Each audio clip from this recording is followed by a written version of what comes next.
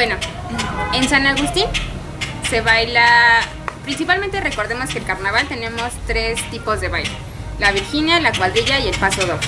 La Virginia siempre va a tener esa apertura a mostrar más el estilo personal. La cuadrilla tienes que seguir la ejecución de, de los cambios, de los, de los cambios que van dentro de la cuadrilla, es más seguir la coreografía. Y el paso doble, el paso doble si recordamos, pues debe de ser elegante por el, por el tipo de- de ritmo que tiene. Entonces estos tres son los estilos de baile. En San Agustín se baila la cuadrilla de tipo francesa, mientras que en los otros pueblos se baila los tipos de cuadrilla entre vienesa y austríaca. Entonces, a mí en lo personal, en mi opinión muy personal, si ustedes visitan el carnaval en San Agustín Atlapulco, eh, la coreografía de las cuadrillas es muy completa. Se ejecutan todos los cambios y los charros. Aquí eh, entro un poquito en detalle en cuestión de las porras. Sí es bonito tener porras y que la gente te esté aplaudiendo porque eso te llena de entusiasmo para, para bailar. Pero en San Agustín cuidamos esa parte porque cuando son las cuadrillas debemos de estar atentos a los cambios. Ahí sí hacemos cambios en todo momento. Entonces debes de estar muy atento con tu pareja y con los otros tres porque nos formamos en cuatro, en canastitas de cuatro. Entonces debes de estar muy atento de quién sale porque es casi casi. Salen los de la derecha y en el otro cambio los de la izquierda, derecha, izquierda, derecha, izquierda. O los que están a, a las puntas, por así decirlo. Entonces tenemos que estar muy atentos a los cambios, a seguir al cajero.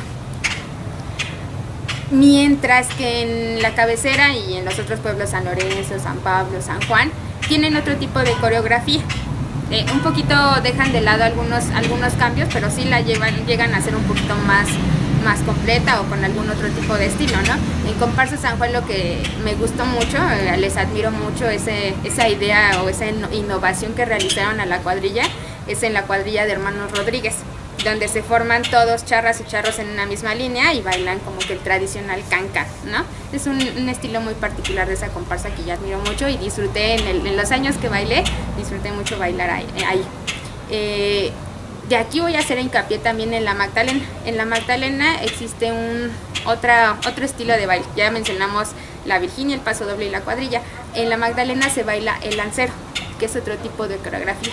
Y donde se le da muy, mucho énfasis al cortejo y a las reverencias. En el lancero, por ejemplo, cuando realizamos la canasta, nos agarramos de las manos y hay incluso el tono de la, de la música de orquesta te da esa apertura a hacer la reverencia entre todos los entre, entre todos los integrantes de esa canasta que se forma.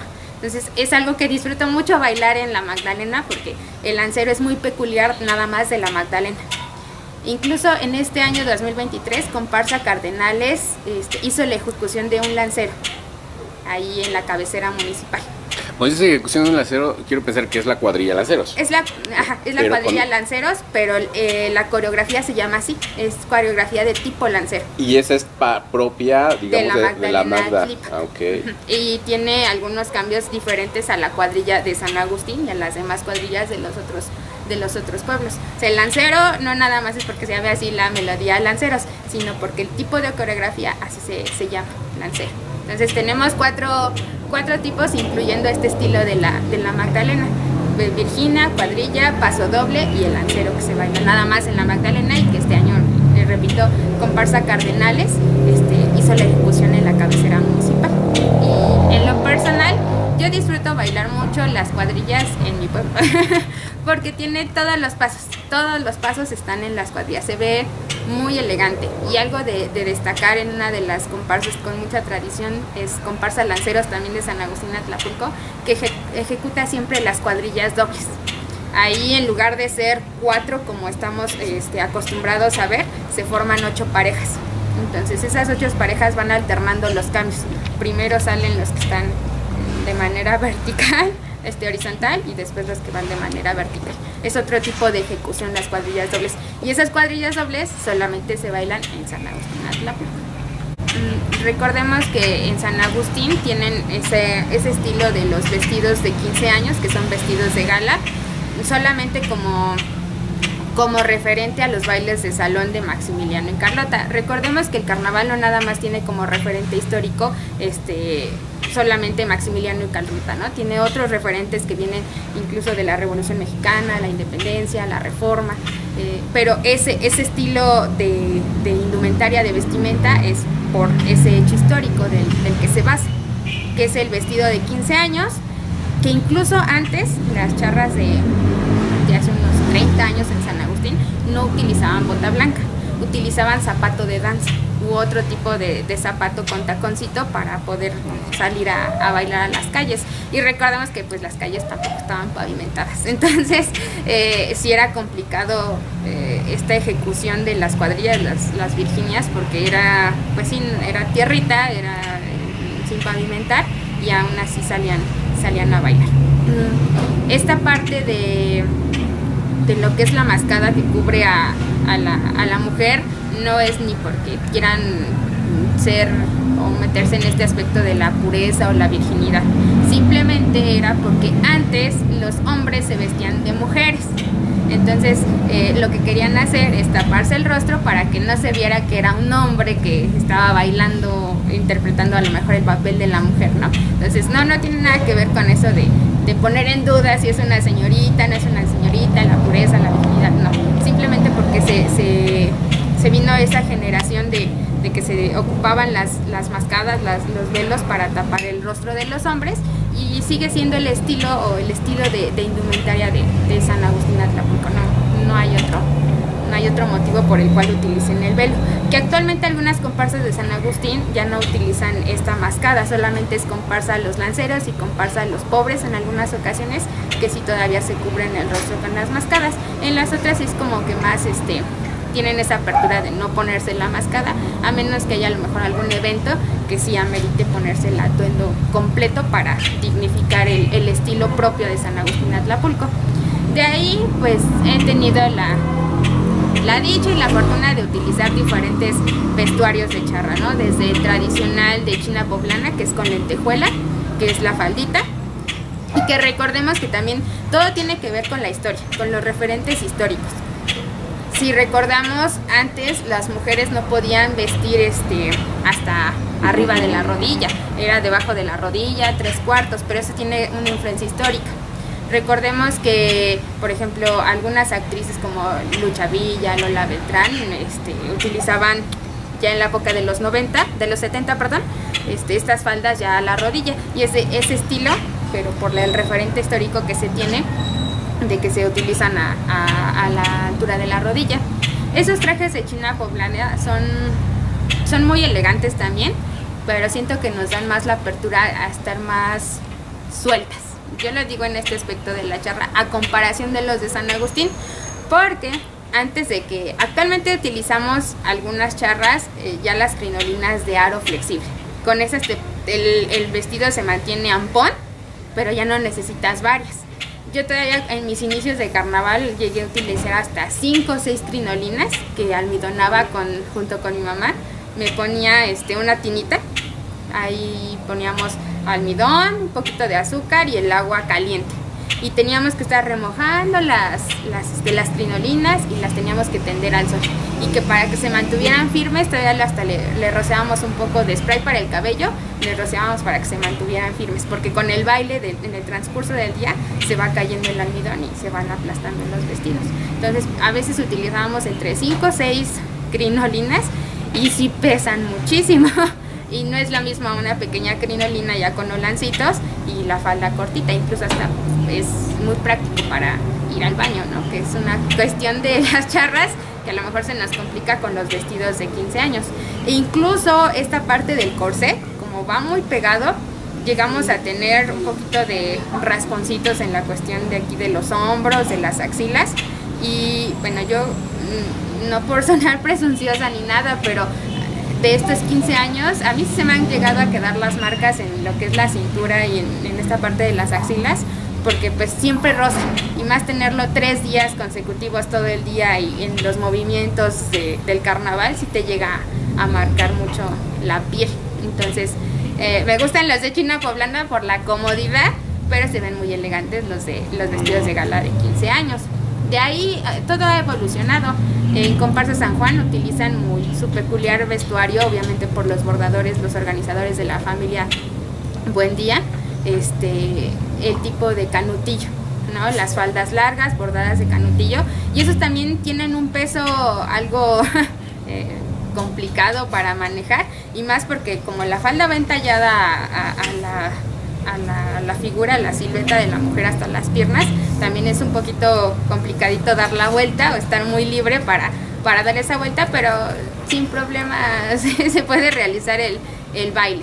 Entonces, ahorita considero que están como de moda los pintados, ya de faldas un poquito más amplias, a tres cuartos, para que también se luzca la bota, y los pintados que son igual a, la altura de la rodilla. Son, pues, para mí yo considero que son ahorita un poquito muy bonitos, porque muchas comparsas eh, plasman la algunas imágenes que son representativas para ellos en, la falda de, las charras. Entonces eso permite dar aún más identidad a cada comparsa, porque está plasmada eh, figuras que representan eh, la historia de cada comparsa o los personajes más emblemáticos de, las comparsas.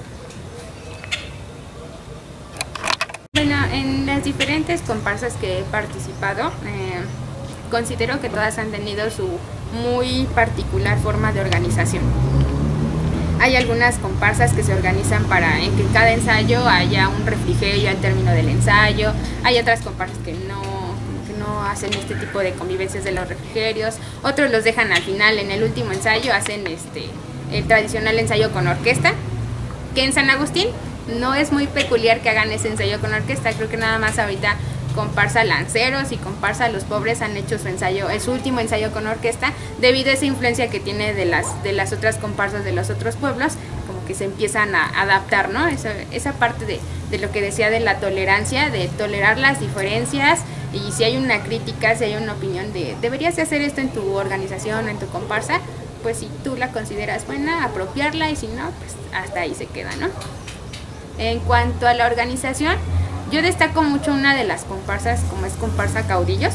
Este, el organizador es profesor y siento que a lo mejor los profesores tenemos esa, esa muy característica particular de ser muy ordenados, muy sistemáticos en la organización.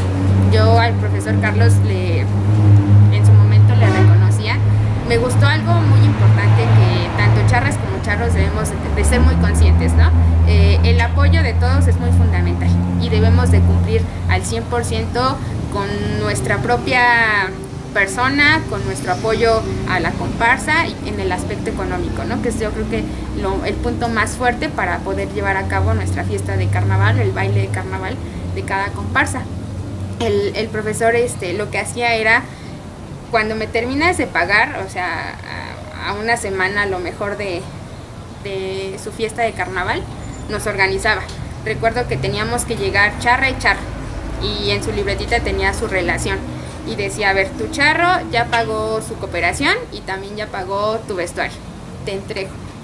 Pero si no habías pagado, no te lo, no te lo, no te lo podían entregar y considero yo que es una buena estrategia y un buen, una forma de organizar muy buena porque así tienes que ser responsable, ¿no? Yo creo que nuestra tradición es muy cara, por así decirlo, ¿no? No cualquiera a lo mejor tiene la posibilidad económica de, solventar el gasto, ¿no? Nosotros nada más a lo mejor vemos el gasto del charro de, rentar o de comprar su traje o de la charra de comprar este, su vestuario, pero es más allá, ¿no? ahorita actualmente la charra ya tiene más producción, por así decirlo, en su imagen personal, ¿no?